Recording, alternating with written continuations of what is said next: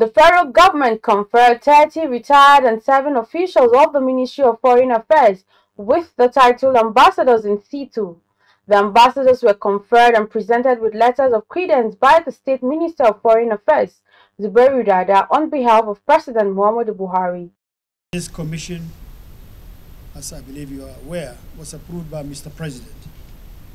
And it was done because he is convinced that all of you deserve, are deserving of this honor.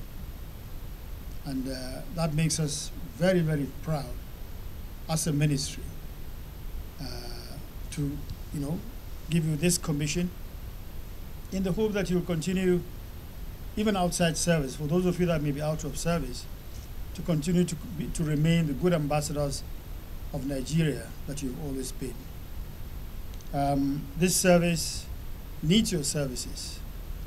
Uh, and that is why from time to time, uh, we'll continue to knock on your doors and to invite you to please come forward and continue to give or to share with us some of your experiences and some of your wisdom that you've garnered in the course of your service uh, to Nigeria.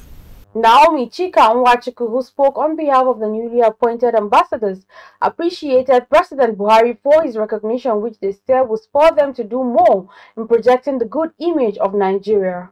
I sincerely want to thank the Honorable Minister for this honor bestowed on us. They said on easy lies the head that wears the crown. With this, Your Excellency, I want to assure you that we'll keep doing our best We'll keep putting in our best in the service of our fatherland. We'll keep making the ministry proud wherever we find ourselves. We will never let the ministry down. And we'll keep pushing to make sure that the Nigeria foreign policy, wherever we find ourselves. It's actually a call to duty. What it means for us is that we have to keep on doing what we are doing and even improve on what we are doing. We should improve on what we are doing good conduct. To be an ambassador recognized by the president is not easy. You should be somebody that ordinarily whatever you do, you have to calculate it very well.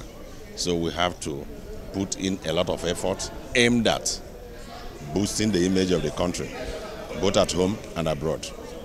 Ambassadors in situ are diplomatic officials of the highest rank sent by one country as its long-term representative to another, usually in recognition of their selfless service to nation building as officers of the Federal Ministry of Foreign Affairs.